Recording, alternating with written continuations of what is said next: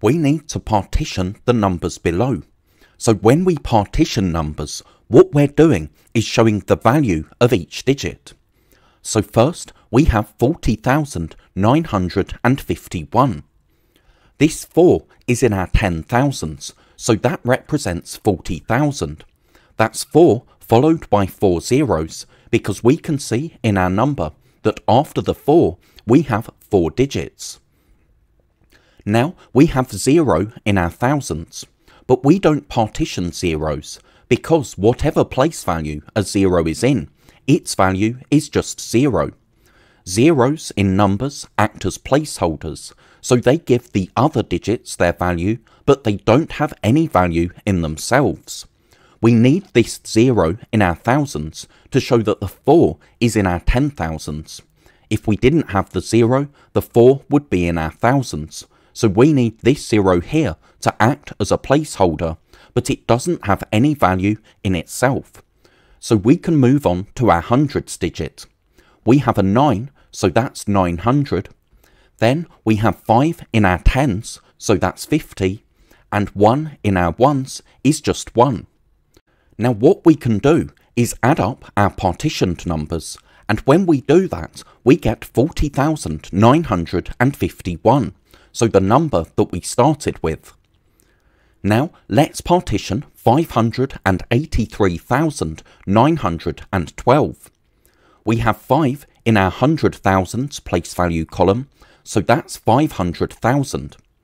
We have 8 in our ten thousands, so that's 80,000. 8 followed by 4 zeros because we can see in our number that after the 8 we have 4 digits. We have 3 in our thousands place value, so that's 3000.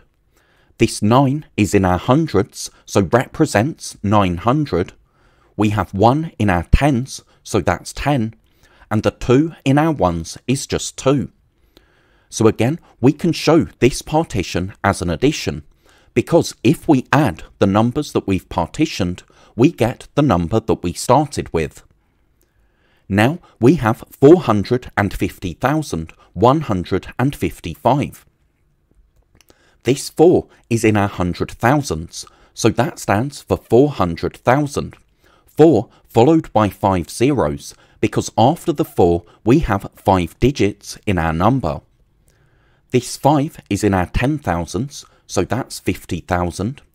We have a 0 in our thousands, but we don't partition zeros because 0, whatever place value it's in, always represents 0. We have zeros in numbers because they give other digits the correct value, so they make sure that other digits are in the right place value column. But zeros don't have any value in themselves. So we can move on to our hundreds digit. We have a 1, so that's 100. We have 5 in our tens, so that's 50. And we have 5 in our ones, which is just 5.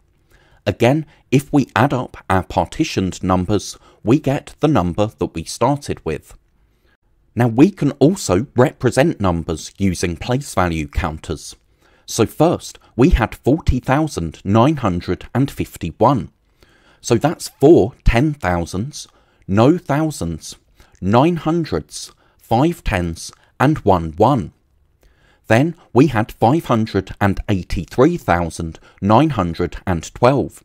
So that's five hundred thousands, eight ten thousands, three thousands, nine hundreds, one ten, and two ones. And our last number was 450,155.